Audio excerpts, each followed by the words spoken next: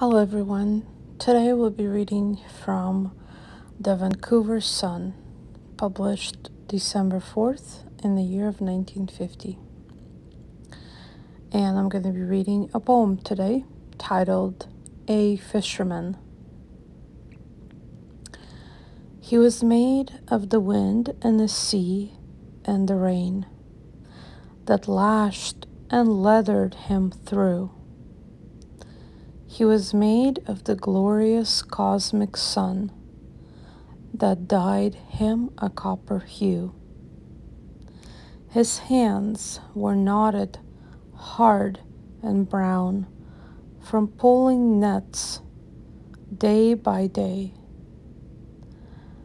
Not for glamour or sport, but family and home. That was his only pay. His eyes reflected the blue of the sea, with the elements bottled inside. His nature, receptive like lightning above. His heart, pure nuggets to me. Thank you for stopping by.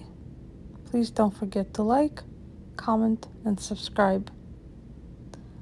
Thank you.